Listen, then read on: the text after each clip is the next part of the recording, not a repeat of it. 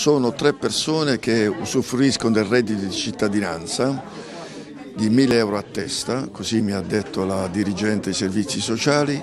Un'affermazione che non corrisponde al vero, replicano i tre senza tetto barlettani che da più di 12 anni vivono riparati in tende di fortuna sulla spiaggia di Ponente o in altri ricoveri occasionali. Il sindaco Cannito si era interessato della loro vicenda, sostenendo che fosse nuta da tempo ai servizi sociali del comune e che le difficoltà nel trovare una soluzione ai loro bisogni fossero da attribuire più alla volontà dei tre senza tetto di condurre una vita fuori dalle regole che a reali necessità economiche. Accuse che i tre amici indigenti rispediscono al mittente chiarendo alcuni dettagli della loro vita passata e i motivi per cui oggi si ritrovano in queste condizioni. Antonio Cuore, 55 anni, non fa mistero dei suoi problemi con la giustizia. Più di metà della sua esistenza racconta è trascorsa tra le mura di un carcere. Da quando ha terminato di pagare per i suoi sbagli non ha avuto più occasione di reintegrarsi nella società. Cardiopatico e plurinfartuato sopra sopravvive da sei mesi con il reddito di cittadinanza per un importo di 375 euro a cui riesce a sommare una pensione di invalidità di 295 euro.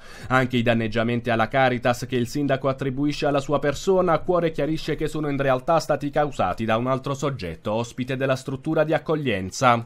Raffaele Chiariello, 62 anni, spiega come la sua vita sia precipitata nel 2008 dopo aver perso il lavoro ed essersi separato dalla moglie. Da nove mesi percepisce il reddito di cittadinanza pari a 500 euro, non nasconde di aver fatto anche il parcheggiatore abusivo per guadagnare i soldi necessari alla sopravvivenza.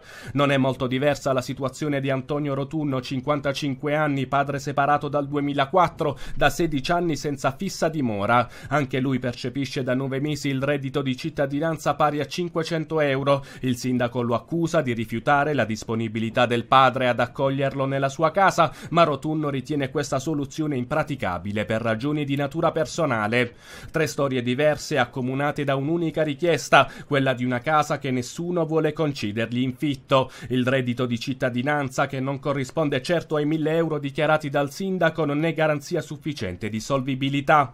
Se veramente vuole aiutarci, dicono i tre senza tetto, il primo cittadino si faccia garante di un contratto di locazione o si impegni insieme alle altre istituzioni per rilanciare l'edilizia popolare e renderla più accessibile ai poveri della comunità. Nessuno, proseguono, vuole vivere in queste condizioni o ricorrere all'aiuto della Caritas, come è avvenuto in tutti questi anni. L'invito finale dei tre senza tetto, protocollato persino al comune di Barletta, è ad un confronto pubblico con lo stesso sindaco, la Caritas e tutti i soggetti interessati a promuovere una rete di accoglienza sul territorio. Un incontro che serva a chiarire le rispettive posizioni e quali azioni mettere in campo per una prova di reintegro nella società dei tre amici senza casa.